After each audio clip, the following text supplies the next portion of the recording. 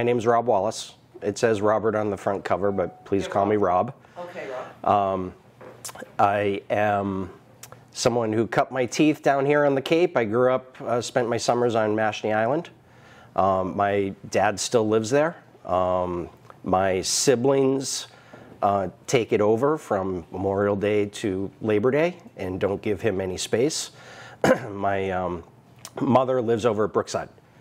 Um, so I have a, a big connection to down here. So it was really a great opportunity for me to be able to come and speak to you today. Uh, I live in Watertown, but I, I grew up in Medfield. Um, my uh, days now are spent mostly up in Maine in a small town called Harpswell, um, which is just north of Portland. Uh, where I uh, keep a boat, and that's where I spend a lot of my free time. Uh, I'm either mowing the lawn or, or out on the boat. This is a story for me that actually started in a library. Um, I'm 52 years old. In my early 20s, I was uh, freshly graduated from uh, Stonehill College, and I was working two jobs trying to pay off my school loans and car loans and, and pay for rent. So I didn't have a lot of free time, but I knew this story. Um, and I started doing research. But my research was limited to Saturdays, where I go to the Needham Public Library. And then we didn't have the speed that we have today because of the internet. So everything that I had to research was to go and ask somebody in the reference section of the, library, can you go down to the basement and see if you can find this microfiche that I just found in a card catalog? And that might be a half hour or 45 minute process. And then I would load it into the machine and it might be the wrong article. And so I'd have to go back and start over. So on a typical Saturday, I might be at the library for six hours, but I only would get 10 minutes of research done in actuality because I had to take notes. There was no, you know, cell phone camera taking or any technology conveniences like that. Plus, I was chasing girls and I was trying to figure out my career. And I said, you know what, I'm- putting this aside. Uh, fast forward, I turned 50 and I'm like, wait, I was, I wasn't even 25 when I started researching this, and now I'm 50 in the blink of an eye. And when I blink again, I'm going to be 75. And I'm just going to look at this and say, what an opportunity missed if I don't pursue this. And so I started doing the research again, except this time it was much easier. And it was because of libraries that it was much easier, because of the online access. I did a lot of research through the Boston Public Library, found a lot of archives. Um, I found a lot of research through the Commonwealth of Massachusetts um, at their state ar- archives. Uh, I went out uh, down by the JFK Library, and the Commonwealth Museum is across the street. I read through 3,000 pages of court testimony to do research for this book. Um, this book is based on historical fiction. Um, people always ask me, they're like, well, what does that mean? Like, how much of it is historical and how much of it, you know, is really in novel form? I'd say that probably if I had to put a number on it, 85% of this book is factual. And I did it that way for a reason because truth is stranger than fiction sometimes. And this story, the details in this story, I just knew when people started reading through it, they would do just what I did when I was researching it of, I can't believe that happened. I can't believe that that detail is true. So there's over 300 endnotes in this book. Here's the fictional part. I knew that there were conversations that took place. I knew what the basic background of the conversation was. I did take kind of poetic liberty on, you know, trying to, to move the story along, try to take a lot of court testimony or five articles that it took to break down something complex about the case, and I tried to simplify it through conversation and character building. Um, and I tried to write the book instead of as historical, I tried to write it in novel form. And what I mean by that is I, I call it left to right.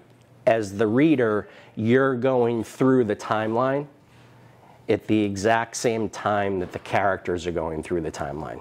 A lot of historical books that I read and enjoy, um, they tend to like, here's the premise, here's what happened. I'm going to take you through it. I'm going to tell you what happened in court. I'm going to tell you what happened to the people. Um, and then at the end, I'm going to kind of summarize it all. And they do a great job of being able to do that. I wanted this to read that someone was, geez, the, the chapter just ended, but I, I, I need to go on to the next one. I need to figure out what happened because now I've paused and there's kind of a cliffhanger here. So that was the approach that I took. Um, my background is um, for over 30 years, I've been in media, uh, mostly in, in sports media, uh, doing live events, um, Olympics, Stanley Cup finals, Super Bowls. Um, and so I've always had uh, an interest and an involvement in my professional career in writing. This is obviously very different. Um, but in some ways, it's similar too, because it was kind of writing to pictures, and um, that's what I do in, in, in, in TV. I write to pictures. Um, and so I tried to really take the scenes and bring a richness to them so that you felt like that you were part of the environment um, back in 1934 when this takes place. Um, let me tell you what I won't talk about today, uh, because there's so many different verticals of stories that are happening within, within this one book. Um, I'm not going to tell you about um, Norma Brighton. Um, she is the wife. Her married uh, last name was uh, Millen, and she was married to Mert Millen, who was the leader of the Mert, uh, Millen Faber gang. And uh, she was 19 years old when she got married to, to Mert. Um, and her story is, uh, she's in the book, and it's, she's a great part of the story, but her story is a little bit more complicated um, because there's questions that arise of how much did she know and how much was she a naive 19 year old girl that didn't know the, the um, awful things that her husband, her brother in law, and their friend were doing. Uh, I'm not going to talk about the two citizens that in two separate robberies uh, were shot and killed in cold blood um, over a combined $200. Um, so, innocent life lost. Uh, it's a story that's important to the book. Um, I'm not going to talk about the, the political advantage of taking control of a situation and the bureaucracy of I helped you get out of a situation, so I think that I should be rewarded for my time and my effort to make this go away for you. Um, that's a theme in the book that is pretty important and startling. Um, and uh, two cab drivers that are on trial, and they're fighting for their life, and they have 10 witnesses against them that uh, say that they uh, killed two people. And um, there's a trial that goes on for three weeks while other crimes are being committed. And there, is there this link of were they part of this gang? Are they not part of this gang? Are they the ones apprehended and the gang is still going on without them? Are they innocent? Uh, these are things that kind of connect it today too, because there's this whole thing that goes into capital punishment. Because in Massachusetts in 1934, capital punishment w- was a thing. Um, and then one of the criminals, uh, Abe Faber, he went to MIT. He was a graduate, and he was brilliant. He was in the aeronautics uh, engineering school, which was new back in 1934. And it was new because of the popularity was because of Lindbergh and his famous flights. And he got into the program, and it was not an easy program. But there was something that happened within inside of him that instead of pursuing becoming a contributor to society from a science perspective, he decided that he wanted to um, to be a planner in a life of crime um, and to be an executor in a life of crime. So, what am I going to talk to you about? Well, the first thing I'm going to do is take you back in time. And this is a story that all of you know, but um, this goes back to 1950. And this is about the Brinks holdup. And there's a reason that I'm kind of stopping here on our journey. Um, in 1950, the Boston police were a very organized uh, unit. They were well trained. They put plans and tactics into place so that they could stop crime in Boston. They worked well, they were coordinated with the Massachusetts State Police. And in 1950, on January 17th, five to six, six to seven, even to this day, they don't really totally know how many men went in, but masked men um, in the north end of Boston, uh, where it meets the west end along the Charles, um, they just walked right into the Brinks building. And there were cashiers counting cash, and there were guards, probably about six to eight that were on duty. And these masked men walked in at 7 o'clock at night. And they held them at gunpoint, they tied them up, they gagged them, and they blindfolded them and made them sit, uh, lay on the floor. In 20 minutes, over $2.5 million was taken from that building and evaporated into thin air. 20 minutes. A couple minutes after they left, so just before 7:25 p.m. that night, the first guard uh, wrestled himself free, and he hit the alarm to ADT, which simultaneously went off at police headquarters in, down in Boston. An APB going out over a teletype. 15 seconds later, seven minutes after the call came in, 12 minutes after the robbers left, there was an all points bulletin where every single Boston police officer that was on duty knew what their job was. They knew where their destination was. And what they had figured out was Boston was a city of bridges with only one road leading in and out that didn't go over a bridge at the time. And so their whole plan was we can eliminate crime by turning Boston into an island and choke off traffic. And so that's the perimeter that they created around Boston. They, they turned it into an island. Newspaper reporters back in the day, they called it um, Operation uh, Rat Trap. So it was so well known what their tactics were that that's the newspapers had a nickname for it. Um, Massachusetts State Police automatically would go into gear and they would create a 190 mile perimeter around Boston. And they would be at Cloverleaf um, uh, on ramps, off ramps. They would main intersections and, and main arteries of, of, outside of Boston. They would cut them off and just pull over every car and inspect every car. This is a well coordinated, thought out plan by the, the police. It was so predictable that no one knew what happened at the Brinks. There was no trial for six years. The money had just evaporated, and if you know the story, you know to this day, it, I believe only $180,000 of it has ever really been fully recovered. The reason this is so important is at the time there was a Harvard psychology professor that said the problem with modern day police is that for 20 years you haven't changed your tactics. You're predictable. You have an emergency, and bandits know your response time. They know where you're coming from. They know at any particular part of the day how many cars are on the road. They know that you go to shut off the bridges. So there were all these things that were predictable. So, why is that important? Now we go back to 1933 and 1934, which is where this book takes place. And it was the complete opposite. Law enforcement was in chaos. Um, it was what the, the bandits called open season on cops. They were more weaponized than the police. Um, they marched into any situation with an audacity of we're just going to take what we want and no one can stop us. And it wasn't something that was um, particular to Boston. This was happening across the country. It was happening in New York. It was happening in Chicago. It was happening in the big cities.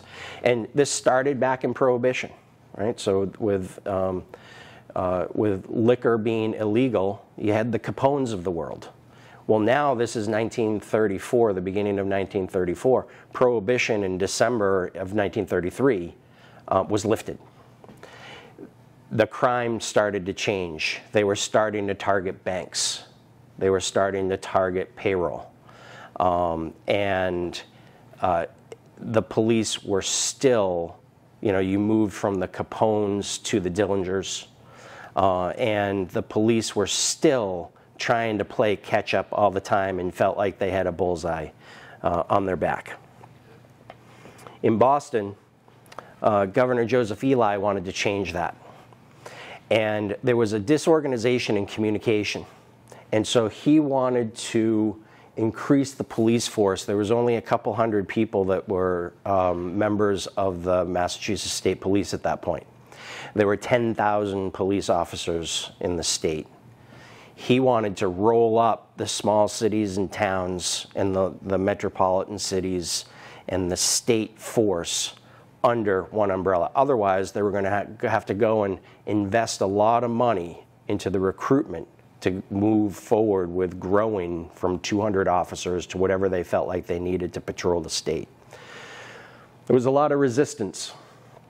And the reason that there was resistance was because the police chiefs didn't like it. They felt like this was a Scotland Yard type of mentality, and they didn't want to police um, their local territories that way. They wanted to be in control.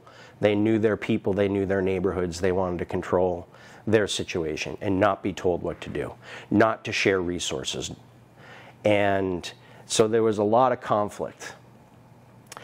And so what the um, uh, what the governor did was he brought in a commissioner of public safety and said, "We're going to write a bill called the Unification Bill to bring all this together. We're going to get in 1934. We're going to get all the support we need." So that the public gets behind us figure out how to do that. So the, the uh, Daniel Needham, uh, who was the Commissioner of Public Safety at the time, um, he was in charge, as a, he was a lawyer, um, and he was in charge of putting together the paperwork and the writing of the bill and also getting public support behind it. And so the first thing that he did was he decided that he was going to um, take the police communications van. It was a 1934 model. It was state-of-the-art technology. And they brought it to the Boston Auto Show in January of 1934. And the Boston Auto Show that year was very popular. It was popular in New York just a month earlier, and it was um, popular as packed every day uh, in January of 34 in Boston. And the reason for that uh, was because the old fleet of the 20s was dying. The economy was slowly starting to change, and they knew that they needed to get newer cars on the road, and people started to have the, the income to be able to afford it. So there were a lot of people that went to this auto show, including Mert Millen, his brother Irv, and Abe Faber. They were in their early 20s, 24, 25 years old. And the reason that they went there uh, was because they were very interested in going to the exhibit that showed off uh, this new communications truck. But they weren't interested in the truck. They were interested in the flex that General Needham was putting forth, which in front of the truck, he had tables of displays of all of their arsenal. It was shotguns, it was riot guns, it was a Thompson submachine gun, um, it was grenades. It was everything that they had that was used to deter crime in Massachusetts. That was the big flex. And guess what? It was a popular attraction. Women, children, men, everyone from all over wanted to see the power of this force. It was there for a week. This is at Mechanics Hall on Huntington Ave, if you're familiar with Boston. Uh, it was there for a week. And on a daily basis, the Millen brothers and Abe Faber were there from opening until close. And if they weren't listening to the police give an overview of this is how this gun works and this is why we have it and this is how you load the ammunition, um, they were paying attention to the perimeter of the security of the place. and they were looking for a weakness. And it only took them a few days and they figured it out. And the weakness was pretty simple. The weakness was at the end of the day, the police on that back door would take all of the ammunition, all the arsenal that they had on display, and put it in the back of the van. It was a handle door, and they just used a simple lock and key that went into that handle on the door. That was it. With a sledgehammer, all you had to do was let the sledgehammer drop, and it would knock that door handle loose. And they knew that that was their way in. The other thing that they figured out was with all that firepower there overnight, they were certain that somebody was there to protect it, and there was. Except it was two part time security guards that were unarmed that had to walk around the entire square footage of the place at night with nothing more than a flashlight in each other's company. So they decided guess what? We're going to go and take this gun because this gun is going to give us power to do tremendous things in this state and beyond. So on April, uh, on January 27, 1934, at about 1 a.m., through the shadows, the Millens and Faber snuck into Mechanics Hall. How did they do it? Because Mert, earlier that day, this was down in the basement. He saw a window that was up, you know, probably a little lower than that one above the door, and he just went and unlatched it. Nobody noticed. And that's how they snuck in. Didn't take them long to take control of the guards and to tape them up. And they walked out with riot guns and ammunition and grenades uh, and smoke grenades and a Thompson submachine gun. No one knew anything about them. They had never been photographed. They had never been arrested, so there was no fingerprint trace. There was no trail of them. They just disappeared. Has anyone ever been to Needham? So, you, is anyone from Needham? Millis. Uh, okay, so you know Medfield. Um, this is 135 in Needham. If you drive down 135 today in Needham, this building is still there. It's a gorgeous building. Uh, now it's Needham Bank, and it's connected to the building that's over here. Uh, in 1934 is the Needham Bank Trust. And a couple days after, um, oh, sorry, my head goes wild sometimes. Um, there was such audacity in the Millen Faber gang that the next day, the Thompson submachine gun wasn't enough. So they walked and marched right into, during prime business hours, the Massachusetts State House, where on the second floor the Detective Bureau was. And they marched into the Detective Bureau with detectives and troopers all around. And they just took from under their nose other riot guns and other revolvers and other pistols and no one saw them do it. Now, when I finished writing this book, I went to the Massachusetts State Police Museum and Learning Center. Wonderful people. I said, geez, I'd love to take a, a photo of my book with an old fashioned typewriter and a Thompson submachine gun if you have it. And they said, Oh, yeah, we have one. It's out of commission. We've put some cement in the barrel. It can't be fired ever again. We have one. And I said, Great, great. Can I come by? I show up. there was probably about six or seven retired troopers that gave tours at that museum. And they only needed two or three during a day, but because I was coming, for some reason they thought I was a famous author. Um, and so what they, they knew I was coming, and so they all volunteered to be there that day. And it made me really nervous because everything I just explained to you, there's a big black eye here on the state police between, you know, a, a lock mechanism that is fragile and then from while they're on duty, weapons stolen from them. They did not look good. And now here's seven troopers welcoming me because I've written a book that is kind of about the Massachusetts State Police. And I said, I need to put a big pause on this because I can't have you find out later and be upset with me that you prevail but you don't start out so great in this story. And I told them why. And two of the troopers, retired troopers, looked at each other and they smiled and they're like, Yeah, that sounds like something that we'd do. Like, that's pretty believable that we would make some type of mistake like that.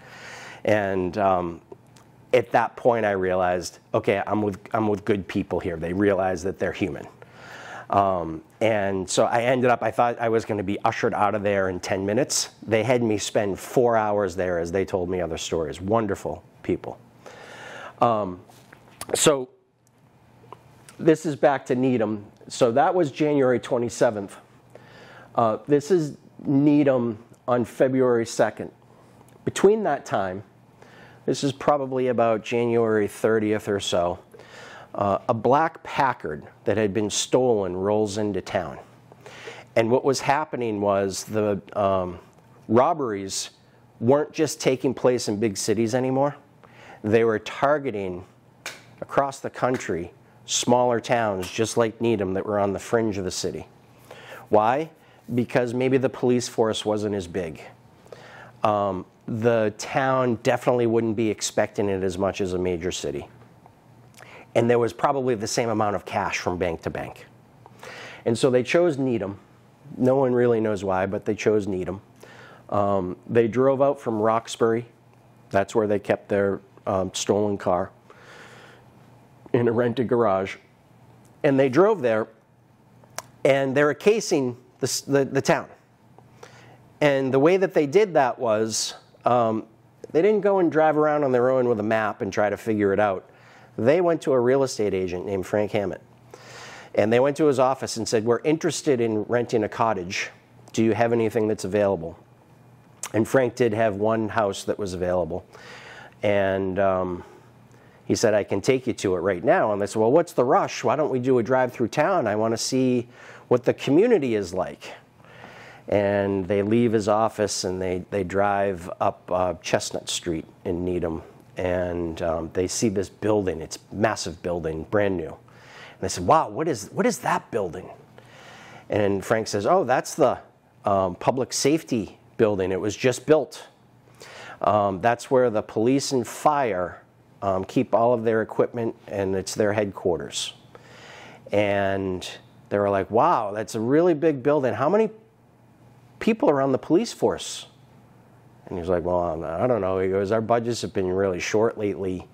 You know, a lot of it went into building this building. There's probably 10 or 12 um, uh, detectives and police officers on duty uh, but never all at the same time. That, that gets stretched across shifts. And they said, oh, interesting. So they take a left onto Great Plain Ave, which is now 135. And you can see that there's train tracks here underneath the snow. And before they get to the train tracks, they see the bank and they're like, wow, what is that? That's a beautiful building. What is it? And he said, well, that's the Needham Bank Trust Company. And they go over the railroad tracks and they kind of slow down a little bit. And you can see up here in the corner of the building, there's a bank alarm. You still see them in some old buildings today when you drive by. And they're like, oh, I see it has an alarm. And, and Frank kind of chuckled and he said, well, geez, you know, we have one, but um, it's kind of like crying wolf because it goes off so much by accident. And not only that, when the train comes into town on a daily basis, the grocery store that's across the street and the food vendors that um, need uh, their nourishment that they're going to sell for the day, they want everything fresh because there's not a lot of refrigeration. So the train comes in and chokes off traffic and cuts the town in half. Now, why he's telling them all this, nobody really knows. He's just trying to have a conversation with these guys who are otherwise quiet.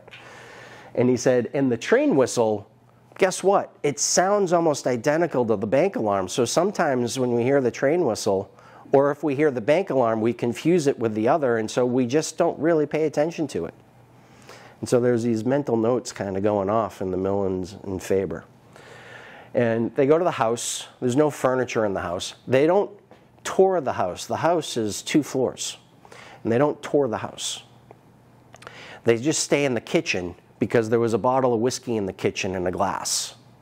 And for some reason, they thought that they would just help themselves and had a couple of drinks with this guy, Frank, and said, okay, you know, we've seen enough. Never asked one question about the school system, nothing. They go back to Frank's office. They go back into the office. Their Packard is parked out front. Now, at the time, there's a police officer that's patrolling that area, and his name is Forbes McLeod.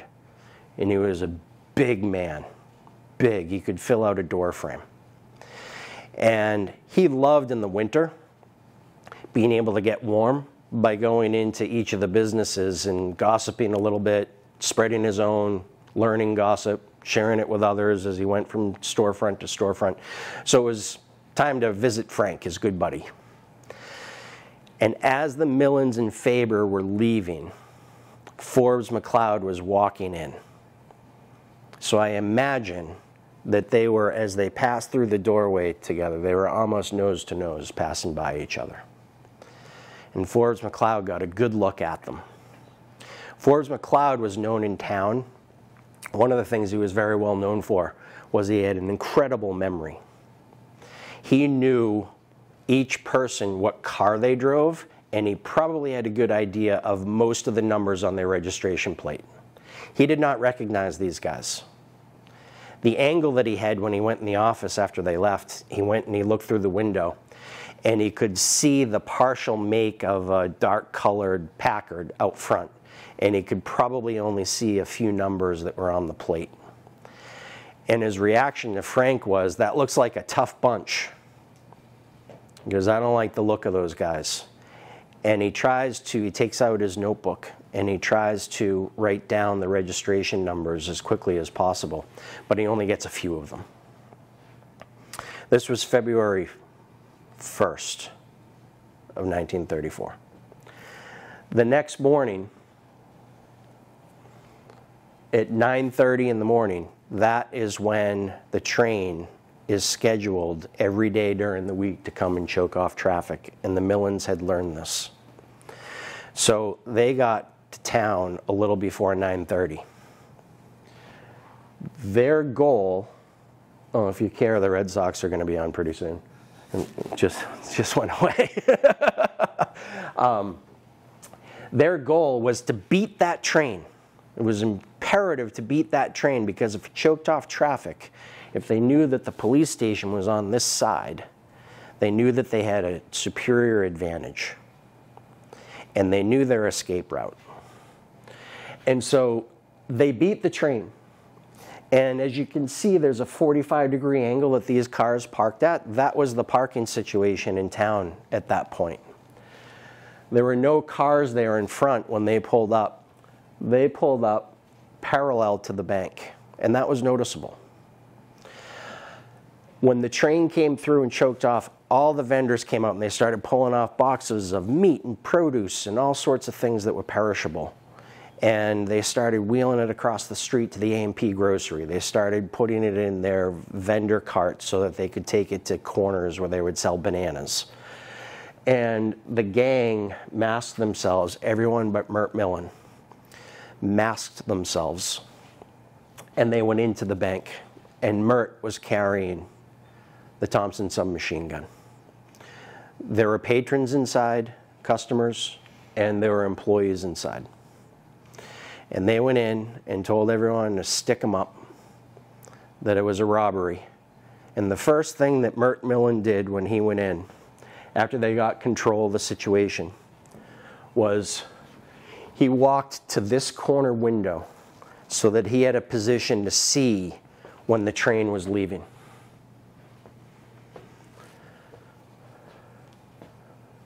Forbes McLeod, this is his beat. He's on foot patrol. He had just finished a half hour before as a crossing guard, letting the kids into the school that was less than a mile down the road. Forbes could see between the cars, and he could see that there was a car that wasn't parked just right. And so he was looking, trying to get his best vantage point between the cars, and he was walking down each car, seeing if he could get a better look.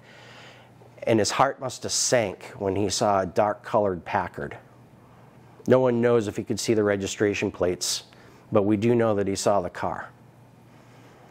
Now, he has this building churn inside of him because he knew from the day before that something no good was about to happen.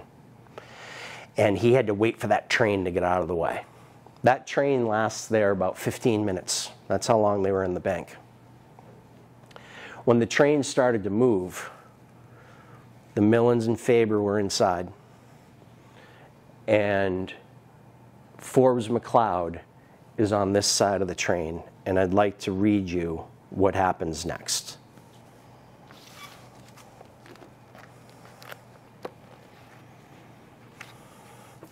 Mert shouts, Here comes a cop. Get him, let him have it. Mert stepped in front of the window and, like a gangster from all the Saturday matinee movies he watched time and time again, he lifted the Chicago typewriter to his hip and pulled on the cocking handle. Outside, the train whistle blew long and loud, signaling it was about to depart from the Needham Center station. To quicken his response time, Officer McLeod began to slide his position down toward the caboose. He was impatient and breathless as he scurried along the gate yet to be raised by the gate tender, Frank Vila, who had just emerged from his shack next to the passenger platform. A gas powered train could easily accelerate to over 200 miles per hour, but when the locomotive weighed 220 ton- tons and was uh, uh, pulling a full haul of freight, it could take a quarter mile or more of track to achieve anything that resembled speed. As the last cars groaned leaving the station, McLeod, an expert shot, thought about going for his weapon. Just the day before, he was awarded the gold badge for marksmanship. He couldn't be sure there was trouble on the other side, but he was trained to confront it. His weapon was holstered under a few layers of clothing. His department issued outerwear was a heavy weighted Melton wool pea coat. He'd have to unbutton several brass buttons on the double breasted garment. Under that was his standard uniform jacket, which was pulled taut over his holster. McLeod could see Vila moving for the hinge gate, but he wasn't waiting any longer. The train had pulled out, and the street was clear. He was no longer fast, but he was agile as he crouched under the wooden gate. He was alone in the middle of the street. As he stood upright, Officer McLeod moved for the buttons of his coat.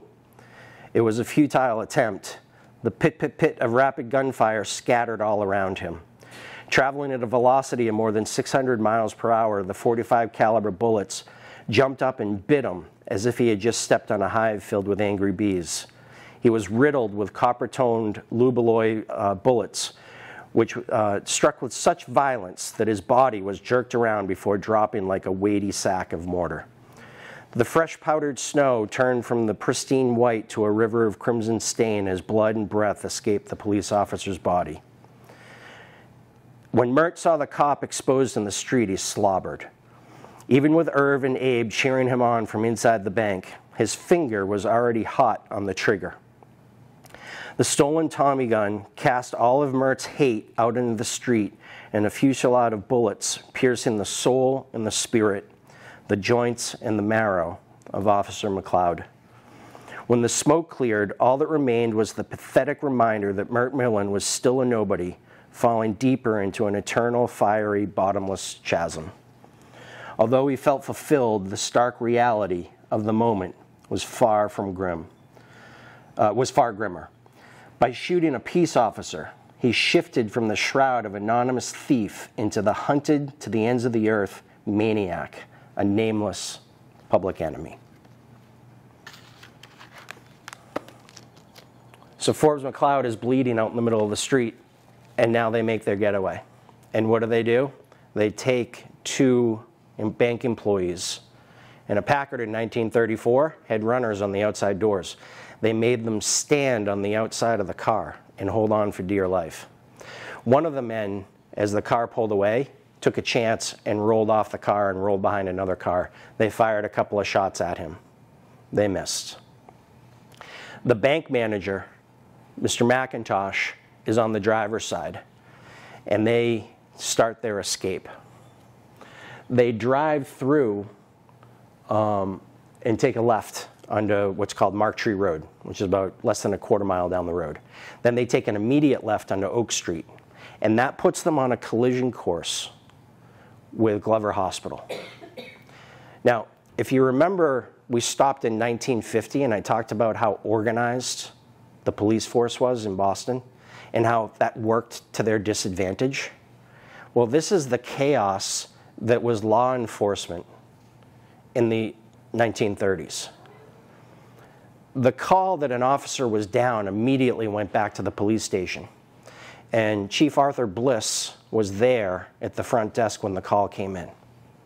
He's the chief of police, except outside, with, uh, with the exception of his foot patrol officers out on the street, he was the only one in the station that could respond.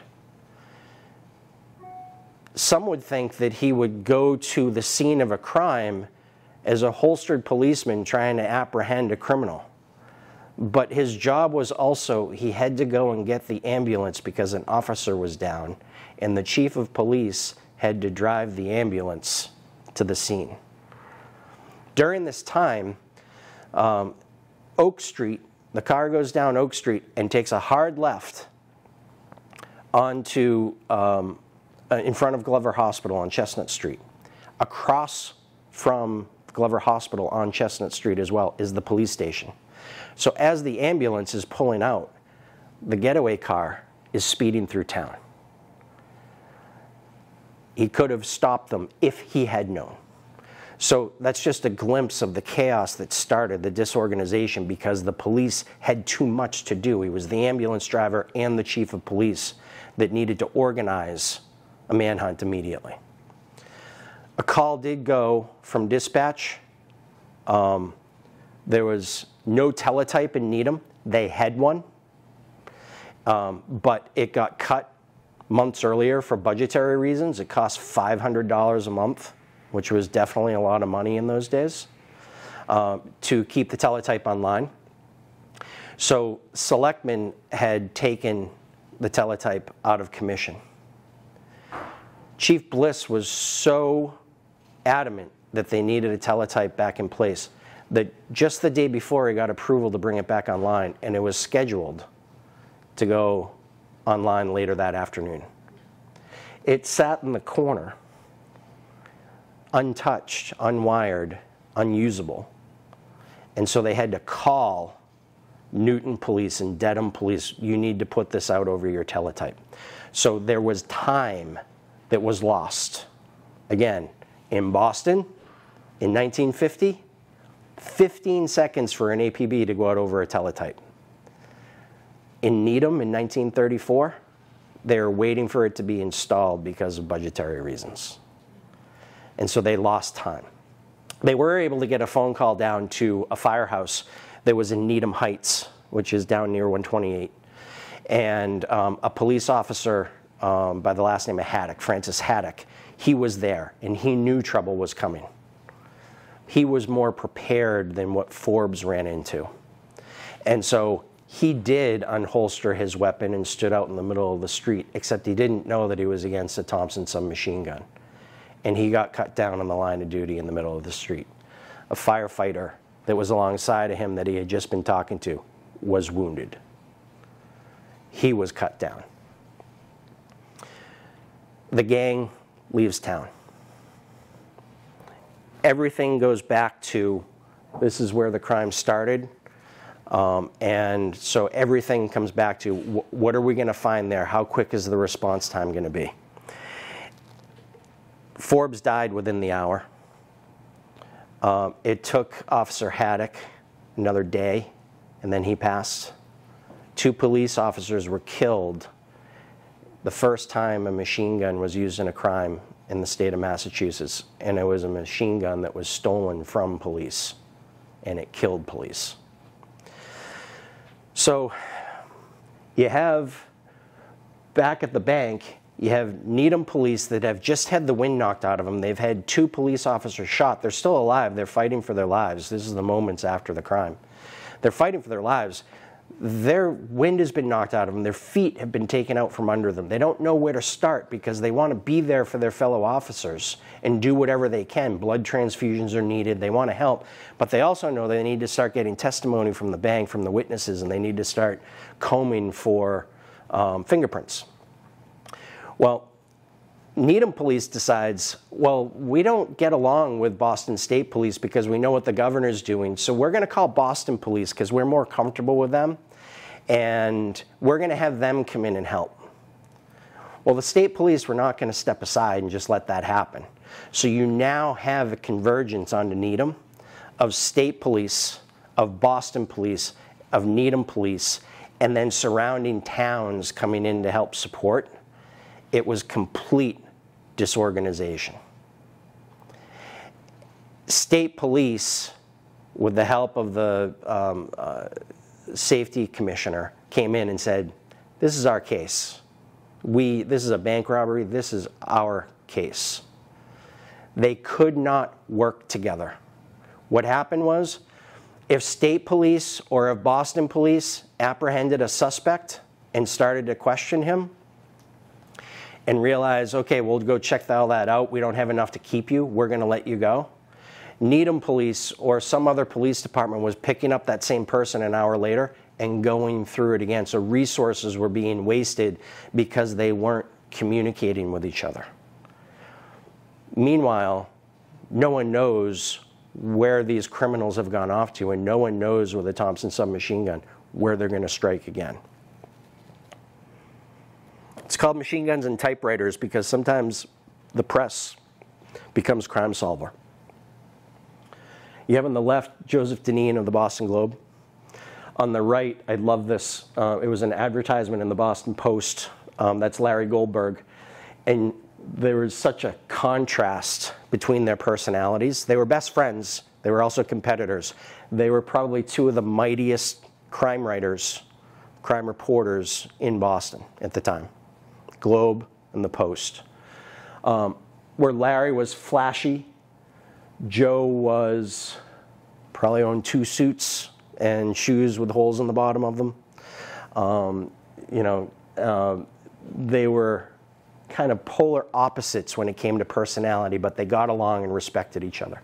They see what's happening with the police, and they decide that they have to get involved they have to start pressing the investigation. They have to start turning up their own sources. They have to start leaning on people that are going to help them figure out how to solve this case. Make no mistake about it. In the end, the police solved this case. I always want to make sure that, that that's not confused. Police did their job. But during those early days, those early couple of weeks when they couldn't put things together when they couldn't dance the waltz together of cooperation. It was newspaper reporters that helped them get their best leads, that put the state's biggest manhunt at the time back on track. Joe Dineen was actually a Needham resident, and his four year old daughter, um, Phyllis, was playing in the front yard when um, the gangster car drove by with a human shield on the front, on the driver's side. And she called to her dad and said, Dad, he was in having breakfast. Dad, there's a man standing on a car. And he's like, Well, that sounds a little ridiculous, Phyllis, but let's go investigate. And they went out, and of course, he didn't see anything. But because he was a crime reporter, he started to listen, and the hairs on the back of his neck raised. He could hear commotion at the hospital. He could hear commotion at the police station. He could hear commotion in the center of town. His house was right smack in the middle. The robbers drove a 360 in their getaway around his house, so he was right smack in the middle of all of it. And those early hours gave him his biggest advantage. That's where I'm going to stop. That's my favorite setup of the book. I think that there's so much that happens before it and after it. I think that there's a lot that happens with each character in their development. Um, I will share this with you just because I found it really interesting when I found it. Um, Joe Dineen was my great grandfather, which is how I knew about this case. Uh, he also was one of the leading crime reporters uh, on the Brinks robbery. And he probably, in his writing, whether it be books or movie deals or newspaper articles, he probably made more money than each of the cut that the actual gangsters got from the two and a half million dollar robbery. Um, he became very famous nationally because of that. Um, oh, wrong way. The Packard was eventually burned and left in Norwood. And I came across this photo. It's at the Boston Public Library, and I came across this photo. The man with the hat on who's facing, that is Joseph Dineen. I stumbled upon that, and I, I, got goosebumps when I saw it. That I uh, uh, here's an action shot of my great grandfather, you know, doing his, his job, and I just found that really interesting. When the case was finally over, he wrote about it in 1935, and he said what I think kind of captures it best. The Millens Faber case reads like fiction because when you do read it, you're like, "There's no way that that's true. There's no way that that's true. There's no way that that's true." and then you go and you look in the end notes or you read further into the book and you realize, my goodness, this is true. That's it. Did the three go on more robberies with that machine gun? Um, so within two weeks, once the feet once the feet were under the police again, and they were able to cooperate and figure it out. Um, it was the largest manhunt in state history. And so at that point, the, the reason that you see the car burned out was because they knew that they needed to start getting rid of evidence because they knew that they were on their tail. They knew that they needed to get out of the state. They knew that they needed to, they still wanted to do crime. They thought that they were going to have to take a pause from Massachusetts because the heat was on.